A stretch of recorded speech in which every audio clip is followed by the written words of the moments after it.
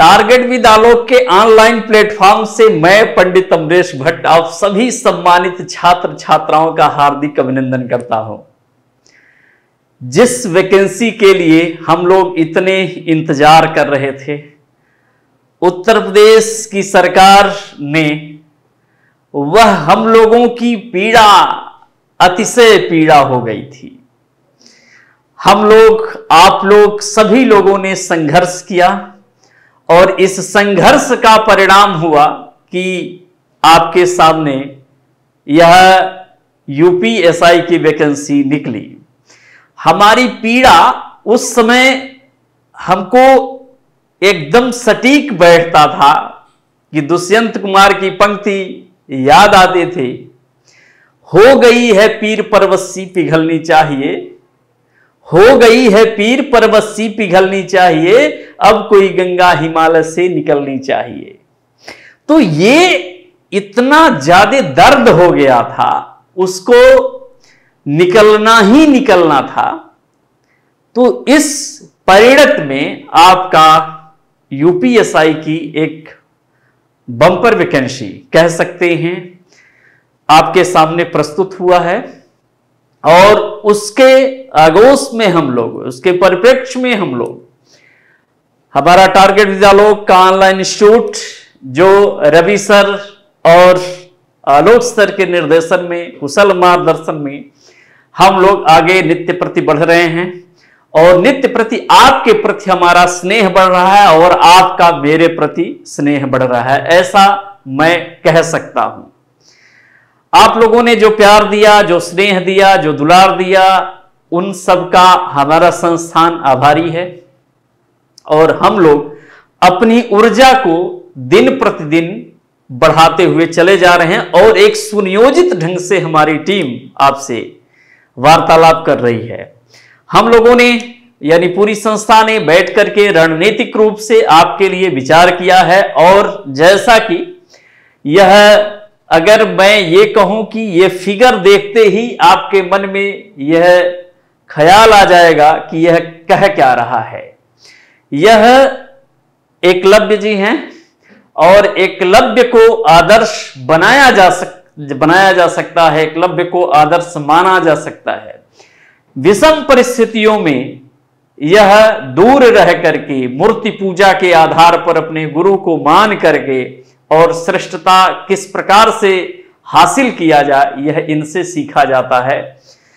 यह इसी कुछ परिप्रेक्ष्य में हम लोगों ने भी, यानी टारगेट विदालोक का ऑनलाइन ये जो प्लेटफॉर्म है यह यूपीएसआई के लिए आपको एकलव्य बैच प्रारंभ कर रही हम यहाँ पर इस एकलव्य बैच के लिए आपका संस्थान आपके साथ सदैव खड़ा है और आपके लिए जो बहुत सारे ऐसे बच्चे जो दूर दराज के क्षेत्रों में रह रहे हैं, जिनको कोई सुविधा नहीं मिल पा रही है, कहीं शहर में भेज करके तमाम उनके साथ खर्चे ज़्यादा एक्स्ट्रा आ जा रहे हैं, उनके लिए हम लोग कम से कम में बहुत ही ज़्यादा अच्छा बेटर करने का प्रयास करते हैं।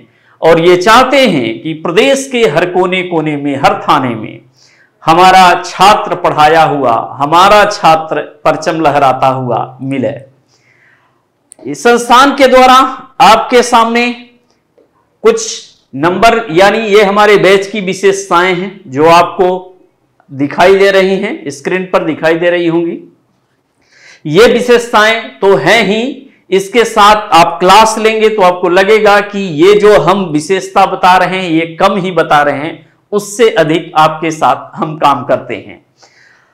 आज से लेकर के चार दिनों तक इस संस्थान में एडमिशन ओपन की प्रक्रिया है और इस प्रक्रिया में आप भाग लें, सुनिश्चित करावें अपना स्थान सुनिश्चित कराइए और हम लोगों के साथ आप जुड़ जाइए। निश्चित तौर पे बेटर होगा, बहुत अच्छा होगा और जो ईश्वर ने चाहा तो मनोकामना की पूर्ति जो होगी, वह इच्छित मनोकामना की पूर्ति होगी, यानी डबल स्टार के साथ होगी। इन नंबरों पर आप व्हाट्सएप कर सकते हैं। एंट्री यूपीएसआई 2021 लेकर 2021 लिख करके इन नंबर पर आप व्हाट्सएप करेंगे। ये नंबर आप में है। और अगर बाई दबे हमारी टीम आपसे आपको इंफॉर्मेशन नहीं दे पाती है, या आप इंफॉर्मेशन से आपको ये लगता है नहीं, मुझे और इंफॉर्मेशन चाहिए, ऐसा होगा नहीं कि नहीं मिलेगा। यानी हमारी टीम आपसे संपर्क करेगी। लेकिन अगर बाई दबे ऐसा होता है कि आपको अन्य जानकारी भी चाहिए तो आप जो है, इस ये जो कांटेक्ट नंबर दिए गए हैं, इन कांटेक्ट नंबर पर आप कॉल कर सकते हैं। ये जो है 10 से 7 यानी 10 बजे से लेकर के 7 बजे के बीच में आप कॉल करिएगा। आपके प्रॉपर कॉल उठते हैं और उसका प्रॉपर जवाब दिया जाता है। बाई जब कभी बीजी बतावे तो आप नाराज़ मत होइएगा, आप गुस्सा मत होइएगा कि बार बार मिला रहे हैं और बार बार ये बिज़ी बता रहा है, इसलिए छोड़ो, हटाओ। होता है कभी कभी ज़्यादा फ़ोन कॉल आते हैं, ये बिज़ी जाता है, लेकिन आप हमेशा इसके लिए अगर थोड़ी सी परेशानी लगाने में या बीजी में आपको आता है तो आप इसके लिए मत होइए इसके लिए मत आप हेजिटेशन में आइएगा कि बार बार बिज़ी जा रहा है। प्रयास करेंगे, आपका निश्चित आपकी निश्चित तौर पे बात होगी हमारे संस्थान से और आपको सारी जानकारियाँ अवेलेबल करा दी जाएँगे। वैसे भी व्हाट्सएप पर ही सारी जानकारियाँ अवेलेबल करा दी जाती हैं। आपको नीचे नंबर पे नंबर चल रहे हो डिस्क्रिप्शन बॉक्स में नंबर चल रहे होंगे, जो स्क्रोलिंग में नंबर चल रहे हैं, इस पर भी आप कॉल कर सकते हैं। हमारे डिस्क्रिप्शन बॉक्स में आप जाएँगे, जो टेलीग्राम फ्री टेलीग्राम का लिंक दिया गया है उस लिंक को आप ज्वाइन कर लीजिएगा, उसका फ़ायदा आप जान लीजिएगा, उससे कोई एक भी रुपए शुल्क नहीं लिए जा रहे हैं। वहाँ पर आप, इसलिए मैं ये नहीं कहता कि आपको सारी, लेकिन जितने भी मटेरियल आपके सामने होंगे, आप सभी लोग टेलीग्राम चैनल पर फ्री ऑफ़ कास्ट उस उस मैटर को पढ़ सकते हैं, उस मैटर को देख सकते हैं। आपके लिए ही वो दिया गया है। इसमें कोई पैसे की बात नहीं हुई है। कोई आर्थिक रूप से आपकी कोई बात ही नहीं हो रही। ये फ्री ऑफ़ कास्ट है तो आप कर सकते हैं। उसको ज्वाइन करिए और उसका लाभ लेकर के और अपने सपनों को साकार कीजिए।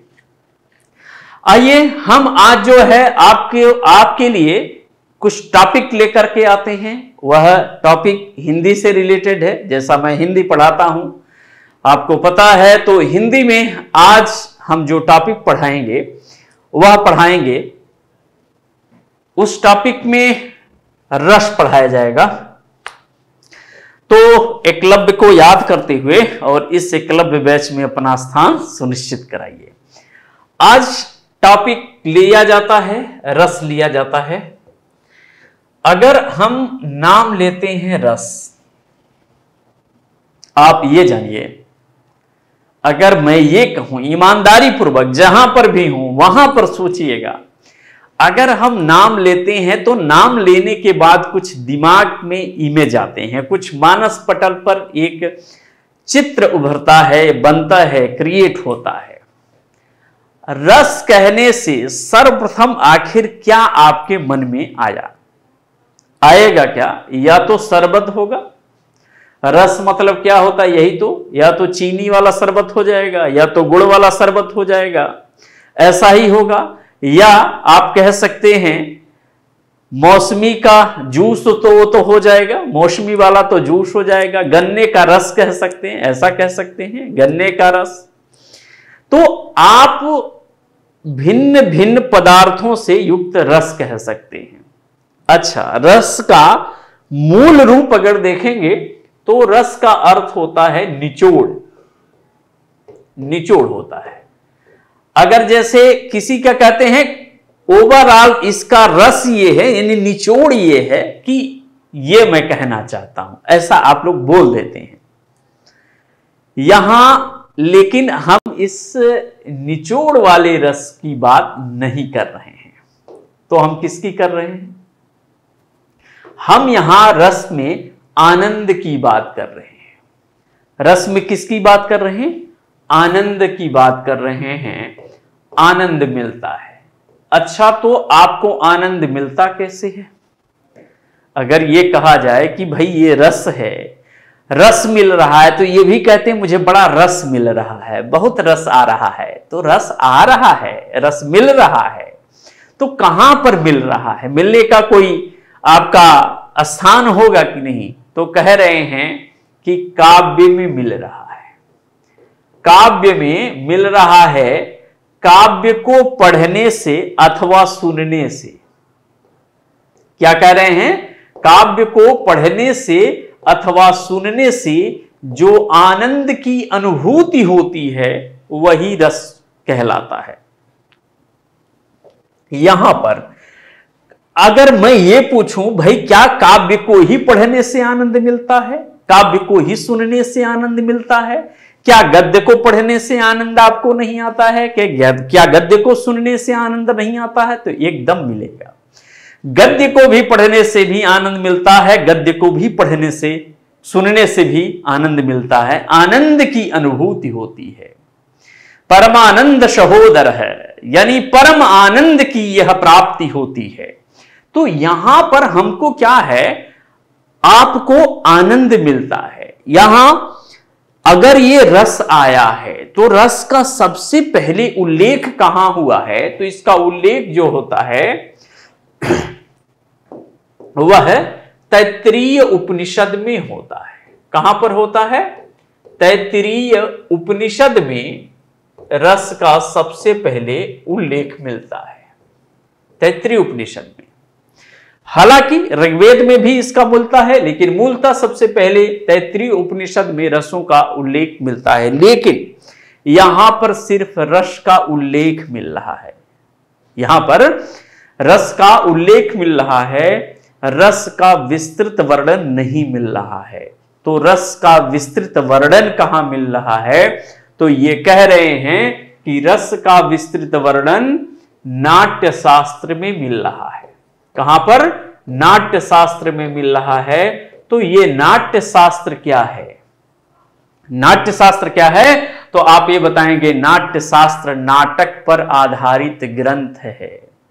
नाटक पर आधारित ग्रंथ है। इसके लेखक कौन है इसके? इसके रचनाकार कौन है? तो आप ये बताएँगे, इसके जो रचनाकार होते हैं, वह भरत होते हैं। कौन है? भरत हैं। भरत क्या थे? अगर मैं प्रश्न करूँ कि भरत क्या थे तो उत्तर निकल कर आएगा, ये मुनि थे। इसलिए इनको कहा जाता है, भरत मुनि कहा जाता है। भरत मुनि ने नाट्य शास्त्र की दूसरी अथवा तीसरी शताब्दी में ये रचना करते हैं। यह संस्कृत का ग्रंथ है, जो 36 अध्यायों में विभक्त है। कितने? 36 अध्यायों में यह क्या है? नाट्य शास्त्र क्या है? विभक्त होता है। 36 अध्याय। इन 36 अध्यायों में, इन 36 अध्यायों में 6000 श्लोक इसमें आपको मिलते हैं। यहाँ पर, इसलिए इसे, यानी आप सट साहस्री संहिता के नाम से भी इसको जानते हैं। किसको? नाट्य शास्त्र को सट साहस्री संहिता के नाम से भी जाना जाता है। हमारा जो मेन कॉन्सेप्ट है, देखिए, बहुत सारी चीज़ें ऐसी होती हैं कि आप डायरेक्ट पॉइंट टू पॉइंट सोचते हैं कि बस मेरा काम है पॉइंट टू पॉइंट समझना, ऐसा जो पढ़ाया जाए, एकदम पॉइंट आ जाए।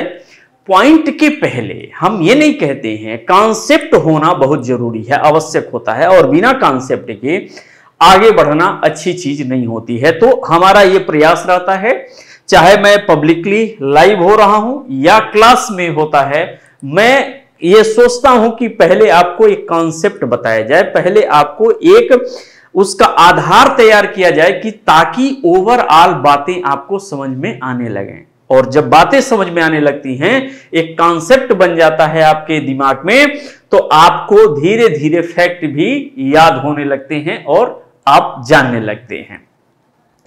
भरत मुनि ने ये नाट्य शास्त्र वास्तव में ये इसके पीछे की कहानी ये है कि ब्रह्मा जी के आदेश से भरत मुनि ने अपने पुत्रों के साथ नाट्य का मंचन किया है, यानी नाटक का मंचन किया है। बड़ी लंबी कहानी है। ये कहानी पर ना जा करके हम यहाँ डायरेक्ट आपसे आते हैं। वो विषयांत वो आपके लिए कोई बहुत बहुत महत्वपूर्ण नहीं है। तो हम बस इतना आते हैं कि यहाँ पर इस नाट्य शास्त्र को भरत मुनि ने जो नाटक का मंचन होता है, यह मंचन कहते हैं कि इसका एक अलग नाम देते हैं। इसको कहते हैं कि यह पंचम वेद है। क्या है? पंचम वेद है। ये भारत मुनि ने क्या कहा? इसे पंचम वेद कहा। अब बात आती है कि नाट्य शास्त्र को पंचम वेद क्यों कहा जाता है? क्या कारण है पंचम वेद कहने का? तो आप ये जानते हैं, चार वेदों का आपने नाम सुना होगा। कितने वेदों का? चार वेद का। कौन कौन से वेद हैं? यह ऋग्वेद है। चार वेद तो आप जानते हैं, ऋग्वेद है, और कौन से हैं? ऋग्वेद, यजुर्वेद ऋग्वेद, यजुर्वेद, अथर्ववेद अथर्ववेद और कौन से हैं? ऋग, यजुर, अथर्व, सामवेद। ठीक है? सामवेद। जो भी आप कह लीजिए ऋग, साम, यजुर, अथर्व कह सकते हैं तो ये चार वेद आपके सामने आते हैं। तो ये पांचवा वेद कौन सा आ गया? और ये बताते हैं भरत मुनि बताते हैं कि ये पांचवा वेद है, यानी पंचम वेद है। तो ये क्यों कहे हैं? कारण ये है इनके कहने का। ये कहते हैं कि मैंने ऋग्वेद से पाठ लिया। ऋग्वेद से क्या लिया है? पाठ लिया है। ठीक है? यानी जो हमारा ऋग्वेद है, जो हमारा पाठ है, हम नाटक खेलते हैं। नाटक खेलने में जो पाठ लिया जाता है, हम किसका रोल करेंगे, क्या करेंगे?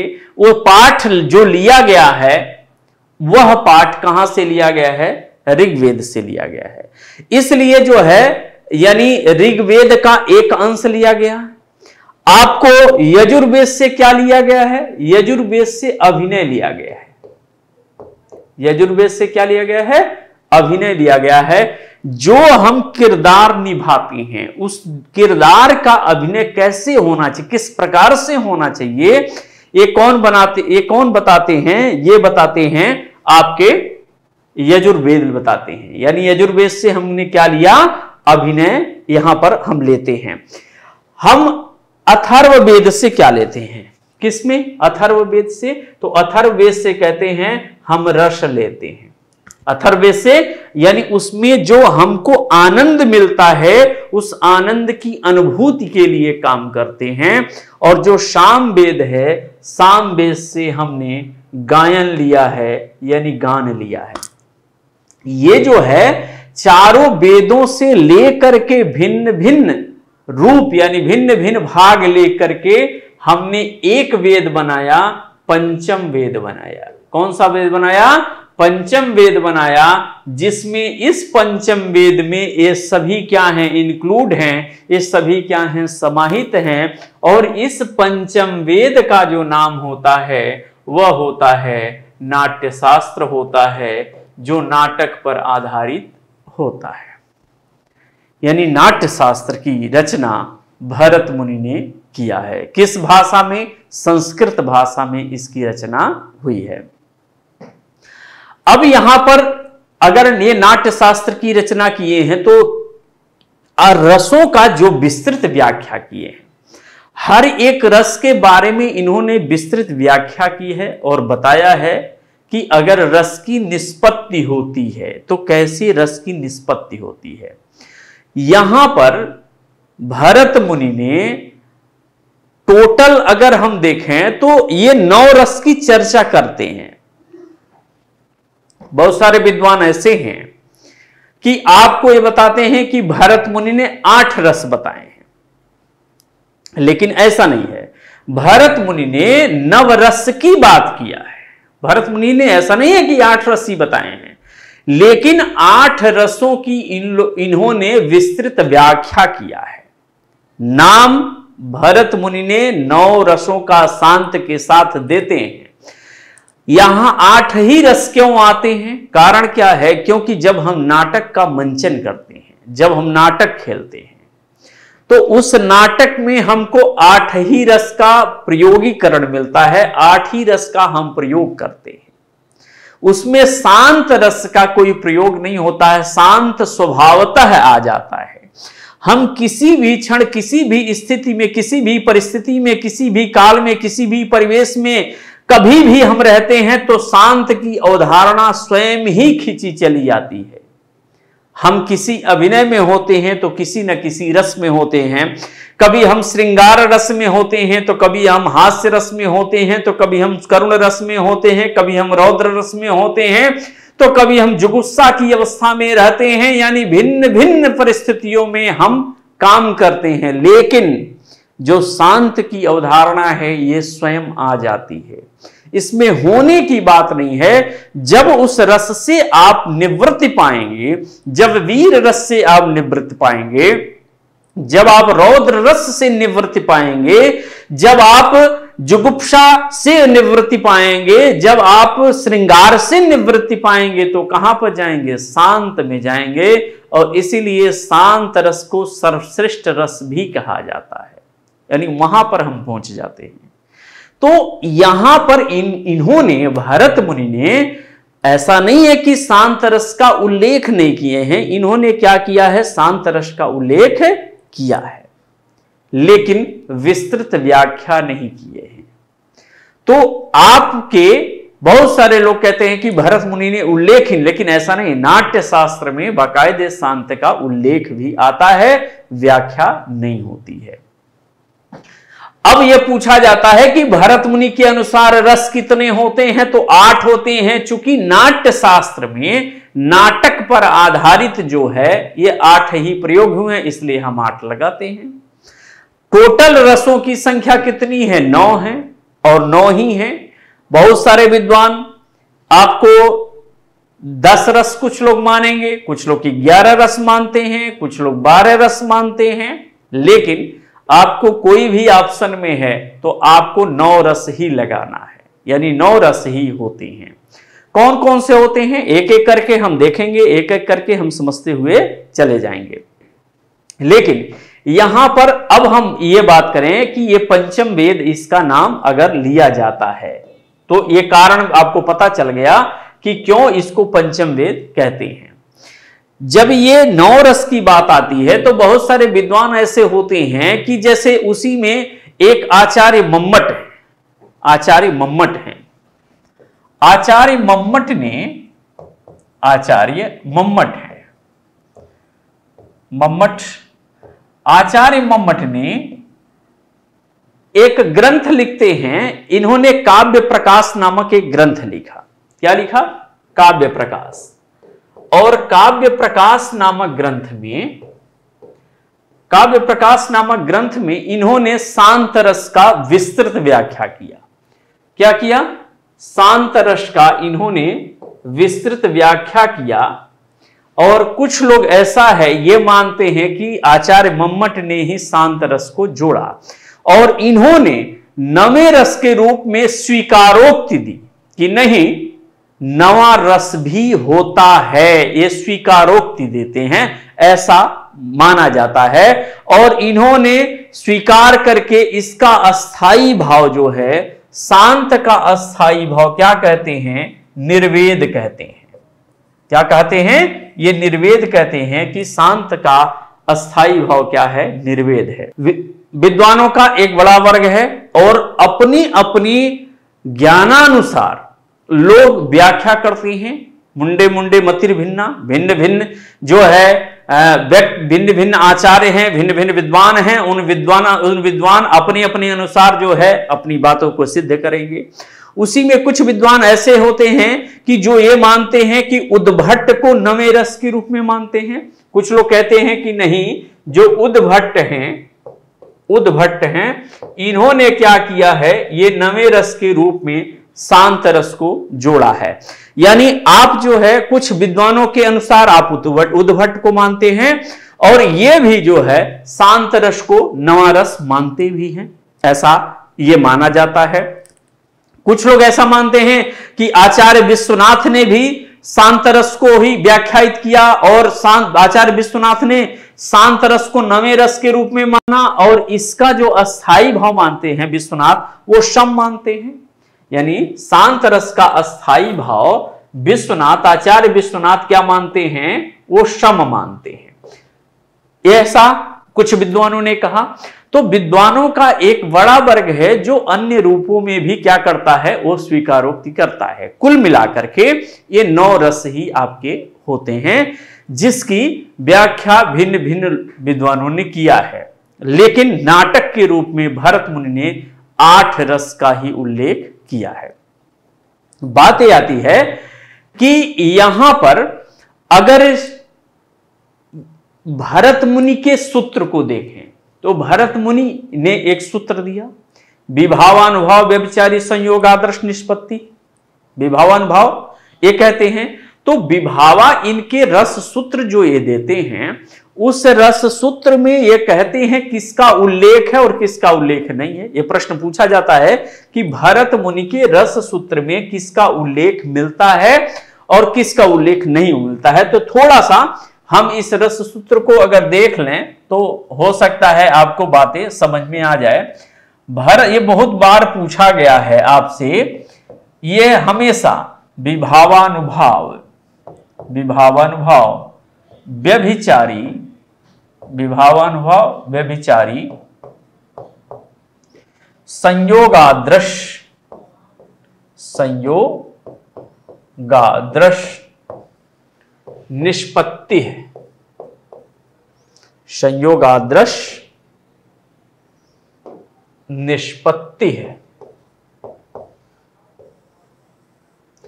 ये जो है, भरत मुनि ने क्या किया है? ये रस सूत्र दिया है। क्या दिया है? रस सूत्र भरत मुनि ने दिया है। ठीक है? भरत मुनि ने। विभावानुभाव व्यविचारी संयोगादृश निष्पत्ति संस्कृत जो होती है, यह संश्लेषण यानी संयोग की मानी जाती है कि संस्कृत जो है, यह संयोग की भाषा है, संश्लिष्ट भाषा है।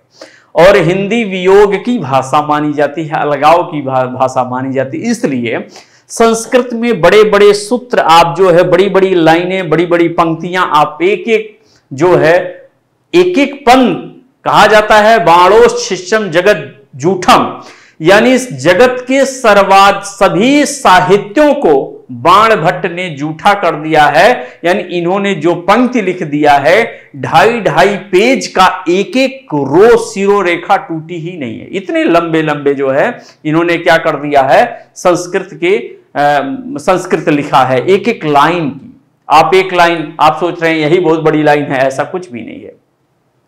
तो भरत मुनि ने कहा कि विभावान व व्यवचारी संयोगादर्श निष्पत्ति, यानी भरत मुनि के अनुसार जो रस की निष्पत्ति होती है, रस निकलते हैं। निष्पत्ति मतलब निकलना। रस कैसे निकलते हैं? तो कहते हैं, विभाव के कारण निकलते हैं। अनुभाव के कारण निकलते हैं और व्यभिचारी भाव के कारण निकलते हैं। ये रसों की निष्पत्ति होती है। यहाँ से रस हमारे निकलते हैं। तो यहाँ से रसों का जब संयोग होता है तो ये रस प्रकटन होता है, ये रस निकलते हैं।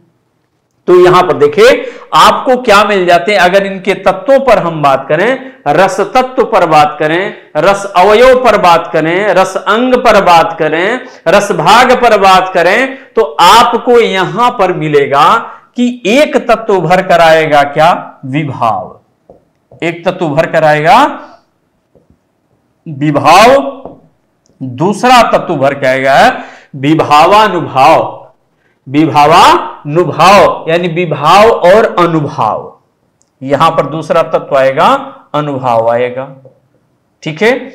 विभावानुभाव, तीसरा क्या आ रहे हैं? विभावानुभाव, व्यभिचारी। व्यभिचारी। व्यभिचारी। अब ये कह रहे हैं, विभावानुभाव, व्यभिचारी संयोगादृश यानी विभाव, अनुभाव और व्यभिचारी भाव के संयोग से रस की निष्पत्ति होती है, रस निकलते हैं। अब यहाँ पर आपसे ये क्वेश्चन पूछा जाता है कि भरत मुनि ने अपने रस सूत्र में किसका उल्लेख नहीं करते हैं। भरत मुनि अपने रस सूत्र में किसका उल्लेख नहीं करते हैं तो आपको बताना पड़ता है कि भरत मुनि अपने रस सूत्र में अस्थाई भाव का उल्लेख नहीं करते हैं। किसका उल्लेख नहीं करते हैं? अस्थाई भाव का उल्लेख नहीं करते हैं। तो उल्लेख जो है, किसका करते हैं? विभाव, अनुभाव और व्यविचारी भाव का उल्लेख करते हैं, जबकि अस्थाई भाव का उल्लेख नहीं करते हैं। कहाँ पर? रस सूत्र में। लेकिन अगर ये पूछा जाए कि भरत मुनि ने तब कहाँ पर इसका उल्लेख किया है तो आप बताएँगे, इस स्थायी भाव का उल्लेख जो है, उन्होंने नाट्य शास्त्र में किया है और नाट्य शास्त्र में सभी रसों का उल्लेख करते हुए सबका इन्होंने अस्थाई भाव दिया है। यानी हम अस्थाई भाव का उल्लेख कर रहे हैं। हम अस्थाई भाव को बता रहे हैं, लेकिन अपने केवल रस सूत्र में नहीं बता रहे हैं।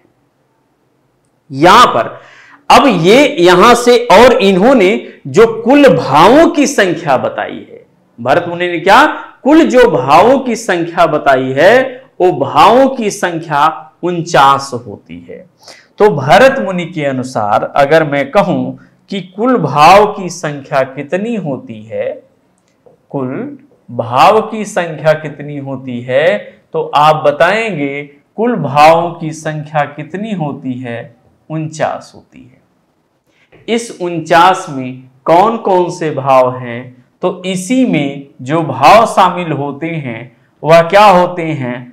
आठ अस्थाई भाव ये मानते हैं। आठ अस्थाई भाव मानते हैं, आठ सात्विक अनुभाव मानते हैं और तैतीस जो है, यह संचारी भाव, जिसको यह व्यभिचारी भाव नाम देते हैं, यह मानते हैं और यह मिला देंगे आठ आठ सोलह सोलह और तीन, उन्नीस और तीन एक चार, यहाँ पर कितने भाव हो गए? टोटल उनचास भाव हो गए। तो भरत मुनि के अनुसार भावों की संख्या कितनी होती है? तो आप बता देंगे कि उनचास होती है। यानी यह उनचास भाव का क्या करते हैं, उल्लेख करते हैं। ऐसा यह माना जाता है। इसके अलावा अगर हम तत्व पर बात करें, अगर ये पूछते हैं कि रस के कितने तत्व होते हैं, रस के कितने तत्व होते हैं तो आप बताएँगे कि रस तत्व जो होते हैं, वो चार होते हैं। रस के तत्व पर अगर हम बात करते हैं तो रस तत्व कितने होते हैं तो आप बताएँगे चार रस तत्व होते हैं। कौन कौन से होते हैं? तो आप ये कहते हैं, पहला मैंने जो बता दिया, आपको विभाव विभाव होता है, ठीक है? दूसरा क्या होता है? अनुभाव होता है। तीसरा क्या होता है?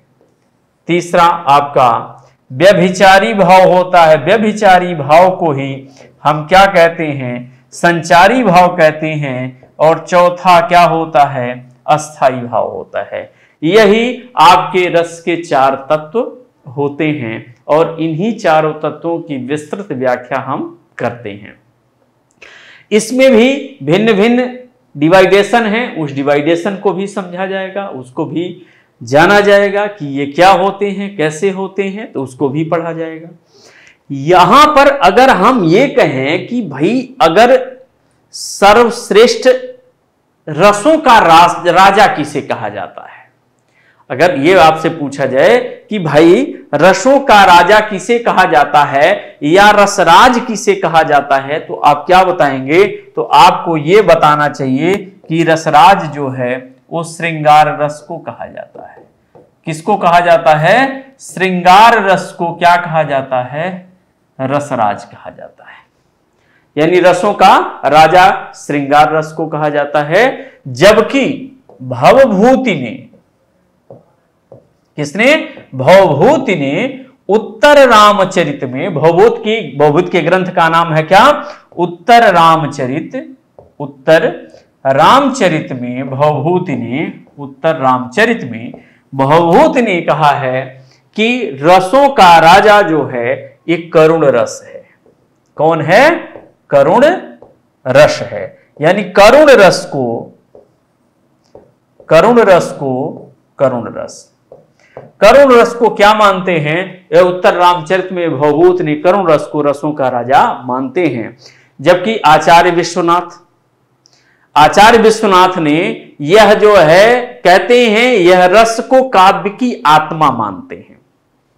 यहाँ पर देखिए, विश्वनाथ जो है, आचार्य विश्वनाथ साहित्य दर्पण लिखते हैं। आचार्य विश्वनाथ आचार्य विश्वनाथ साहित्य दर्पण लिखते हैं। और साहित्य दर्पण में, साहित्य दर्पण में आचार्य विश्वनाथ ने रस को काव्य की आत्मा स्वीकार करते हैं, वाक्यम रसात्मकम काव्यम। ऐसा ये कहते हैं, जो रस से युक्त वाक्य होता है, वही काव्य होता है। अन्यथा, अगर जिस काव्य में रस नहीं होता है, वह काव्य नहीं होता है। ऐसा आचार्य विश्वनाथ कहते हैं, और यही आचार्य विश्वनाथ। यही आचार्य विश्वनाथ साहित्य दर्पण में ही जो यह मानते हैं कि जो आपका दसवां दसवां रस के रूप में, यानी दसवां रस के रूप में, दसवां रस के रूप में किसको मानते हैं? वात्सल्य को मानते हैं। यही आचार्य विश्वनाथ क्या कहते हैं? दसवां रस, दसवें रस के रूप में किसको मानते हैं? यह वात्सल्य रस को मानते हैं, जो वत्सल होता है माता और पुत्र के बीच का संबंध पिता और पुत्र के बीच का संबंध वात्सल्य। यानी प्रेम जो होता है प्रेम का स्फुटन जो माता और पुत्र के बीच होता है, वह वात्सल्य यानी यहाँ पर आपको विश्वनाथ ही अलग से मानते हैं कि यह दसवां रस है। नौ ही रस नहीं होते हैं, बल्कि कौन सा? दसवां रस भी होता है। आचार्य विश्वनाथ की देन है।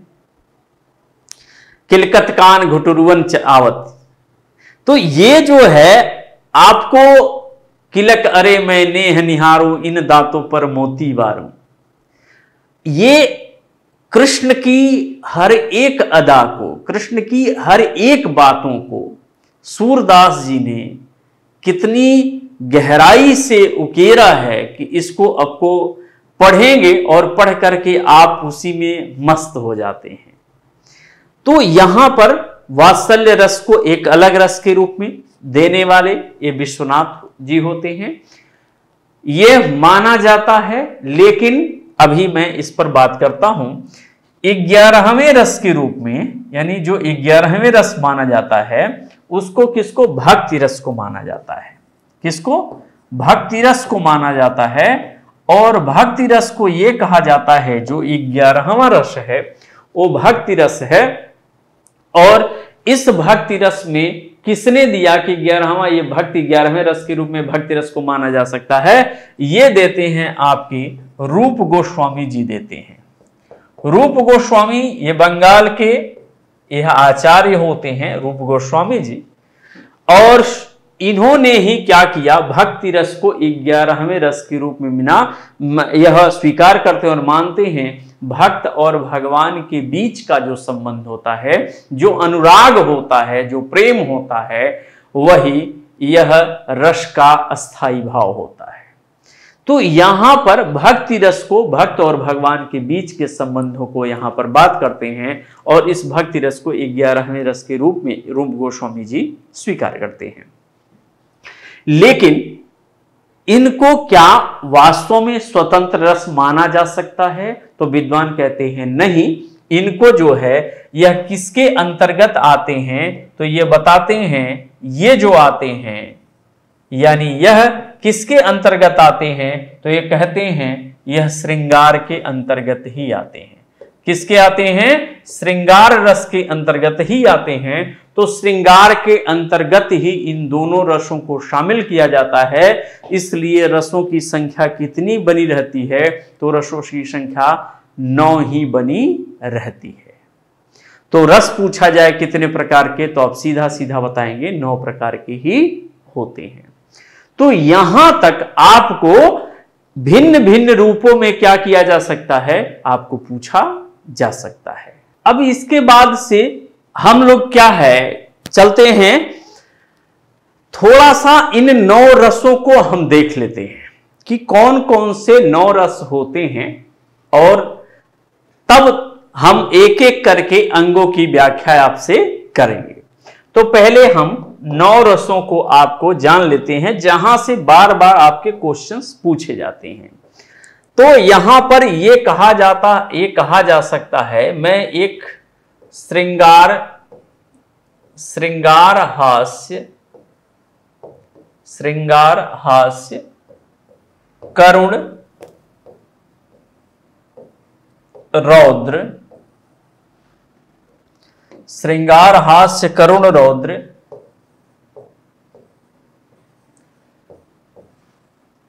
चार को जानिए, चार को जानिए। अद्भुत। अद्भुत। भयानक। अद्भुत भयानक। वीर विभत्स। वीर विभत्स। शांत को पहचानिए। शांत को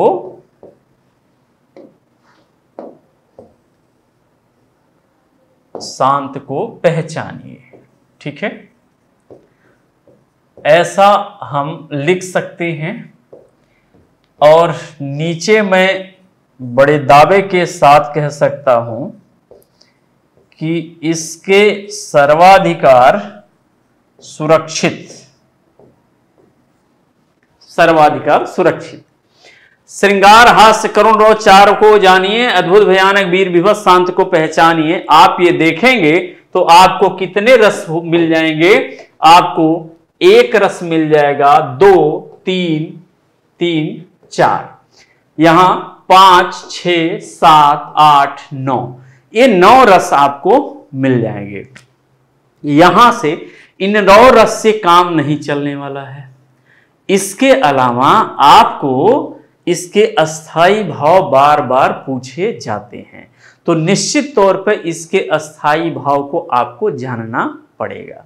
क्लियर तो अब हम करते क्या हैं? इसको थोड़ा सा हम ऊपर कर देते हैं और यहाँ पर आपको करना क्या है? एक नोट्स बना लीजिएगा। एक तरफ़ आप लिखिएगा। इधर लिखिएगा रस। ठीक है? एक चार्ट बनाइएगा। रस लिखिएगा और इधर लिखिएगा अस्थाई भाव। अस्थाई भाव लिखिएगा, ठीक? रस में पहला रस लिखिएगा श्रृंगार रस। श्रृंगार रस, ठीक? श्रृंगार का अस्थाई भाव क्या होता है? श्रृंगार का अस्थाई भाव रति होता है। क्या होता है? रति होता है। इसको तो आपको पता ही होगा ना श्रृंगार, हास्य। हास्य का अस्थाई भाव क्या होता है? हास होता है, श्रृंगार, हास्य, करुण। करुण का स्थायी भाव क्या होता है? शोक होता है। श्रृंगार, हास्य, करुण, रौद्र। ठीक है? रौद्र का अस्थाई भाव क्या होता है? क्रोध होता है। क्रोध होता है। ये आपके चार हो गए। चलिए, अब यहाँ आ जाइए। यानी हम नंबरिंग अगर कर दें, एक, दो, तीन, चार। चलिए, पाँचवें पर चलते हैं। पाँच नंबर यहाँ हम देख लेते हैं। इसको हम हटा देते हैं। पाँच नंबर। अद्भुत। अद्भुत। अद्भुत का अस्थाई भाव क्या होगा? आश्चर्य होगा। ठीक है? आश्चर्य होगा। छठा, क्या कहते हैं? भयानक कहते हैं। भयानक भयानक का अस्थाई भाव क्या होगा? भय होगा? होगा कि नहीं? वीर सातवां वीर है और वीर का अस्थाई भाव क्या होता है? उत्साह होता है। वीर का उत्साह होता है। आठवां कौन सा है? बीभत्स है। बीभत्स है और बीभत्स का अस्थाई भाव क्या होता है? घृणा होता है। बीभत्स का घृणा, या इसे हम क्या कहेंगे? जुगुप्सा भी कह लेते हैं। कहते हैं कि नहीं? नवा क्या होता है? शांत होता है। नवा, शांत, और शांत का अस्थाई भाव क्या होता है? निर्वेद होता है, या सम भी होता है। अभी मैंने आपको बताया भी। यानी आपके ये क्या है? नौ रस होते हैं। इन नौ रस के अस्थाई भाव परमानेंट आपको पूछे जाते हैं।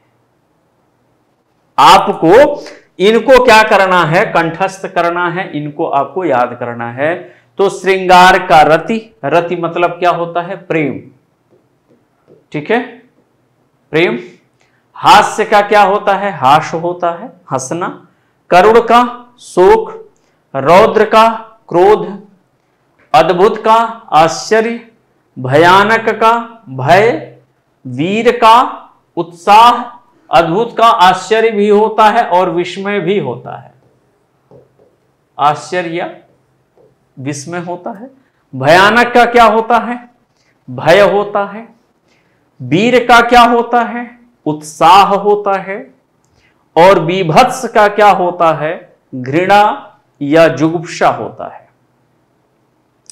शांत का निर्वेद भी होता है, या शम भी होता है, या वैराग्य भी होता है, ये भी होता है। तो ये नौ रस आपसे क्या होते हैं? हमेशा पूछे, किसी ना किसी रूप में इसका स्थायी भाव पूछा जाता है। आप उठा करके आए हुए जो विभिन्न परीक्षाएँ हैं, विभिन्न परीक्षाओं में आप उठा करके देखेंगे तो 90 परसेंट केवल यहीं से क्वेश्चन पूछ लिए जाते हैं। बाकी जो है, कुछ आपको मैं जब रस तत्व पढ़ाऊँगा तो रस तत्व के बारे में पूछा जाता है। कुछ जो है, आपको काव्य पाठ दे दिया जाता है, यानी कोई ना कोई आपको का, कविता दे दी जाएगी। और उन कविता के माध्यम से भी पूछा जाएगा, इसमें कौन सा रस है? तो यहाँ पर आपको कुछ न कुछ पूछा जाएगा। और निश्चित तौर पर पूछा जाता है। श्रृंगार रस से प्रायः पूछ लिया जाता है। आपको कभी कभी हास्य से कभी कभी रौद्र से कभी कभी आपको करुण से भी पूछ लिया जाता है। यहाँ पर आपको जब इसके मूल नेचर को, अगर कभी कविता को लेकर के आप ये मत सोचिएगा कि कोई कविता आ जाएगी तो हम कैसे कर पाएँगे। केवल अगर मूल नेचर को आप समझ जाते हैं तो कविता कुछ भी आएगी, आप इतना कर ले जाएँगे, समझ ले जाएँगे, हाँ, इसमें क्या होता है। नहीं तो अगर नहीं समझ पाते हैं तो आपको कीवर्ड समझना होता है। उस कीवर्ड्स को अगर समझ ले जाते हैं तो दी बेस्ट है। और उस कीवर्ड को हम बताते भी हैं, हम बात भी करते हैं कि आप कैसे हर एक कविता जो भी होगी, वो कविता जो है, आप उसके अंदर कुछ न कुछ ऐसे शब्द आएँगे जो शब्द आपको बता देंगे कि हम कौन सा रस है। तो यहाँ से आपको ये अगर तैयार है तो निश्चित तौर पे मानिए, आपका रस जो जितने पॉइंट मैंने बोला बोला है, इस पॉइंट में से बहुत सारी चीज़ें आपसे डायरेक्ट क्वेश्चन में पूछ ली जाती हैं। तो यहाँ से आपको क्या करना पड़ेगा? आपको जानना पड़ेगा और यहाँ से समझना पड़ेगा। तो आपका पूरा का पूरा एक सिस्टमाइज होते हुए आप बात करेंगे तो आपको पूरा सिस्टम समझ में आएगा। ठीक है? तो आशा ये करते हैं कि जितना भी मैंने आपको बताया है, उतनी बातें आपको समझ में आई होंगी, उतनी बातें आप क्लियर हुए होंगे कि हाँ ये चीज़ें इसमें होती हैं। पुनः मैं आपसे एक बार ज़रूर कहना चाहता हूँ कि आप अपने बिना समय को नोटिफिकेशन आ गए हैं। फॉर्म अभी फिलअप नहीं हो रहे हैं, लेकिन नोटिफिकेशन आ गया है। अगर ये आप हैं कि नोटिफिकेशन बहुत सारे अफवाहें उड़ रही हैं। उन अफवाहों पर ध्यान न दे करके सरकार, मैं ये नहीं जानता कि क्या होगा या क्या नहीं होगा, लेकिन एक बात मैं निश्चित तौर पे जानता हूँ कि 2022 में चुनाव है और 2022 में चुनाव है, इनको वैकेंसी करानी ही करानी है, चाहे जैसे ये करावें फाइनल करना ही करना है। तो आप एकदम निश्चिंत होकर के बिना किसी दबाव के अपना एडमिशन जहाँ पर, मैं कभी नहीं, आपको ऐसा लगता है तो अब बेस्ट जो है, आप एडमिशन प्रक्रिया ले लीजिए और ले करके अपनी पढ़ाई को जारी रख लीजिए। आप जो है, मैं पुनः आपको बता दे रहा हूँ कि हम लोगों का संस्थान, यानी टारगेट विद्यालोक का यह ऑनलाइन प्लेटफॉर्म आपके लिए सदैव तत्पर है। आपके लिए हमेशा इसके दरवाजे खुले, हर पग पर आप इसमें हर कदम पर आप पाएँगे, यूँ ही नहीं केवल, कथनानुसार नहीं। अभी जो है, आपके आंदोलन हुए, रवि सर ने पूरा ऑनलाइन जो भी है, जैसे भी है, उन्होंने घोषणा किया, ऑनलाइन आए, ऑनलाइन प्लेटफॉर्म पर इसके लिए तमाम बातें उन्होंने कहा, जो वास्तविक है, जो जेन्युइन है, और वो बातें उन्होंने कहा। यह अलग बात है कि आप लोगों के संघर्ष ने रंग लाया, और उस रंग का परिणाम ये हुआ, जैसे कहते हैं, रंग लाती है हिना पत्थर पे घिस जाने के बाद। तो पत्थर पे आपने इतनी बार घिसाई कर दिया, और तो कहीं ना कहीं से वो रंग आना ही था।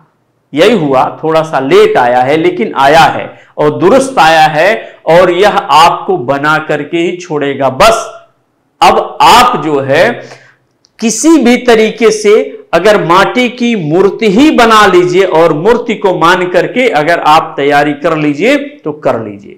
आप इसीलिए हमारा जो टेलीग्राम लिंक दिया गया है, फ्री टेलीग्राम लिंक दिया सारे मैटर उसमें उपलब्ध रहेंगे। उसमें कोई दिक्कत नहीं है, आप फ्री ज्वाइन करिए उसको। तो आप एक मूर्ति बना करके अपने उद्देश्य को लक्षित करिए और उस उद्देश्य पर क्या करिए, चल दीजिए। हम संस्थान में पढ़ा रहे हैं, सोच रहे हैं बेटर से बेटर किया जाए। जितना हो सकता है, उतना आपके लिए किया जाएगा और करने, करते हुए चले आ रहे हैं। उसका नतीजा आप स्वयं बताते हैं। तो आप जो है, अभी आज से लेकर के चार दिन तक यह ओपन है, आपका एडमिशन हो रहा है। अगर चाहते हैं तो निश्चित तौर पे उन नंबरों पर एक बार पुनः मैं आपको स्मरण करा दूँ। यानी इन नंबर पे आप कॉल कर सकते हैं और इन नंबरों पर आप एंट्री यूपीएसआई लिख करके आप भेज सकते हैं। तो आशा करते हैं कि आप जो है, जो मैंने पढ़ाया, वो बातें आपको समझ में आई होंगी, वो बातें आप समझे होंगे और वह बातें आपके जीवन के लिए भी लाभदायी होंगी। वह बातें आपको परीक्षा के लिए भी लाभदायी होंगी और अच्छी तरीके से जितना भी पढ़ाया गया वो समझ में आया होगा। ठीक है? तो चलिए, पुनः मुलाकात होती है अगले एपिसोड में। तब तक के लिए ढेर सारी शुभकामनाएँ हैं आप लोगों को कि आपको स्टार लगे। आप भिन्न भिन्न थानों में जा करके उत्तर प्रदेश और टारगेट विद्यालयों के ऑनलाइन प्लेटफॉर्म को रोशन करें। आपका दिन और आपकी रात, आपकी शाम, आपका आने वाला शुभ हर शुभ है, हर पल आपका स्वर्णिम हो, सुखदायी हो, भविष्यमयी हो और ढेर सारी शुभकामनाएँ आपको, ढेर सारा प्यार, धन्यवाद।